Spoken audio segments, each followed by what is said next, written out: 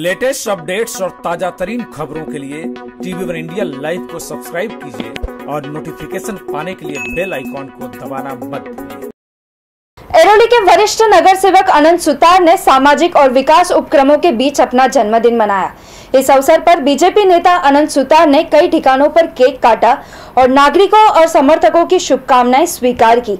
उन्होंने नागरिकों को भरोसा दिलाया कि गणेश नायक के नेतृत्व में गतिमान विकास होगा और नागरिक समस्याओं के समाधान का भी भरोसा दिलाया। देखिए रिपोर्ट।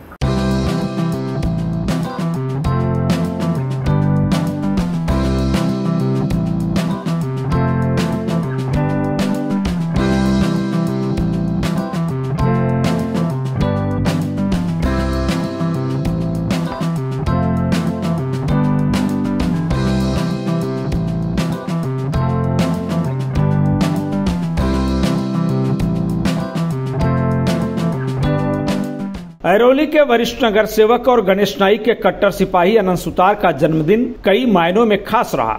इस अवसर पर ऐरोली के प्रभाग चार और पाँच के कई इलाकों में पूर्व विधायक संदीप नाइक के हाथों नागरिक विकास कार्यों की शुरुआत हुई, जबकि कई ठिकानों पर सामाजिक कार्यक्रम भी चलाए गए, जिसका हज़ारों नागरिकों ने लाभ उठाया। इस अवसर पर बीजेपी पदाधिकारियों द्वारा सानी नेता आनंद सुतार का जगह जगह सत्कार किया गया। अपने जन्मदिन को नागरिकों का आनंद उत्सव मानते हुए वरिष्ठ नेता आनंद सुतार ने कई ठिकानों पर केक काटा और सबकी शुभकामनाएँ स्वीकार की।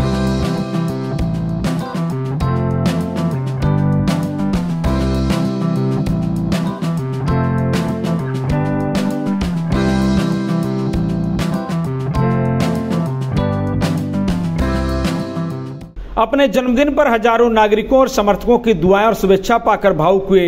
बीजेपी नेता आनंद सुतार ने कहा कि उन्हें अब पता चला है कि लोक नेता गणेश नाइक के नेतृत्व में उन्होंने जो जनता को सेवाएँ दी है, उसका बैलेंस कितना बड़ा है। अनंत सुतार ने नागरिकों को भरोसा दिलाया कि मनपा चुनाव जीतने के बाद वे न सिर्फ़ नागरिक समस्याओं का समाधान करेंगे, बल्कि यह भी दिखा देंगे कि असली विकास क्या होता है।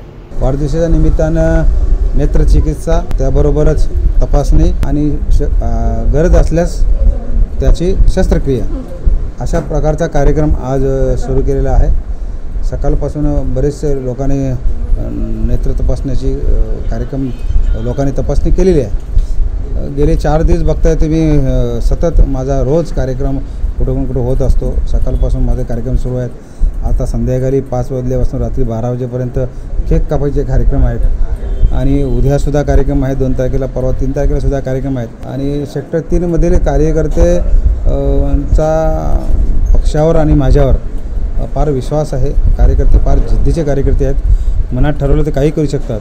ह्या वेळेमध्ये ह्यावर्षी येणाऱ्या निवडणुकासुद्धा सर्वांसाठी चॅलेंजिंग आहेत. आणि ते चॅलेंजिंग कार्यकर्त्यांनी स्वीकारलेलं आहे. आणि ते चॅलेंजिंग माझ्या नेतृत्वाखाली होणार आहे. या नेतृत्व मी करणार आहे. या प्र पॅनलचे नेतृत्व मी करणार आहे.